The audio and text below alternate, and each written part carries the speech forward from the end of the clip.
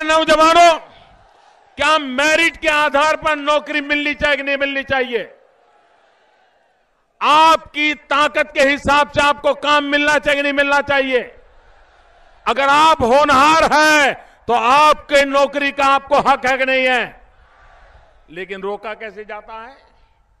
जब आप परीक्षाएँ पास करते हैं, अच्छे मार्क लाते हैं, फिर नौकरी के लिए एग्ज़ाम देते हैं उसमें भी अच्छे मार्क लाते हैं, टॉपर होते हैं।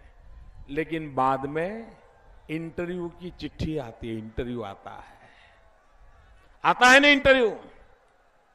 और जब इंटरव्यू आता है तो बेटा खुशी से समाता नहीं है। माँ को कहता है, माँ, इंटरव्यू आ गया, मैंने परीक्षा पास कर ली, अब नौकरी लगेगी। माँ अनुभवी है। कहती है, बेटा, देखो किसी की पहचान है क्या? कोई जानने वाला मिल जाए तो देखो। देखो, ये कोई नेता मिल जाए तो देखो। वो बेचारा इंटरव्यू के पहले कोई पहचान वाले को तलाशता है, सिफारिश करने के लिए तलाशता है। तो कोई बिचौलिया आ जाता है। कहता है, नौकरी चाहिए तो दो लाख दीजिए। नौकरी चाहिए तो पाँच लाख दीजिए।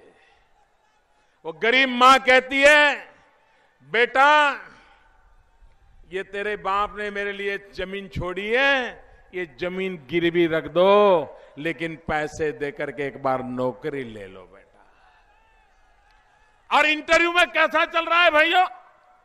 तीन बाबू बैठे हैं, एक दरवाजे से नौजवान अंदर आता है, तीस सेकंड, ज़्यादा नहीं, तीस सेकंड, वो तीन लोग उसको देखते हैं, वो तीन लोगों को देखता है, वो उसको पूछ लेते हैं, नाम क्या, कहाँ से आए हो, और दूसरे दरवाजे से निकल जाता है। ये है इंटरव्यू। मुझे बताइए भाई, दुनिया में ऐसा कोई विज्ञान निकला है क्या, कि 30 सेकंड में पता चल जाए कि भाई कैसा है, कैसा नहीं है, पता चल जाए, ऐसा कोई विज्ञान है क्या? ये बेईमानी है कि नहीं है? ये इंटरव्यू नाम का झूठ चल रहा है कि नहीं चल रहा है? ये लोगों को, उनके हक को छीनने का षड्यंत्र के नहीं है? हमने निर्णय किया। दिल्ली में आपने मुझे प्रधानमंत्री बनाया। हमने निर्णय किया कि वर्ग तीन और चार, सरकार में सबसे ज़्यादा नौकरी करने वाले लोग वर्ग तीन और चार के होते हैं। हमने निर्णय किया। अब वर्ग तीन और चार में कोई इंटरव्यू नहीं लिया जाएगा।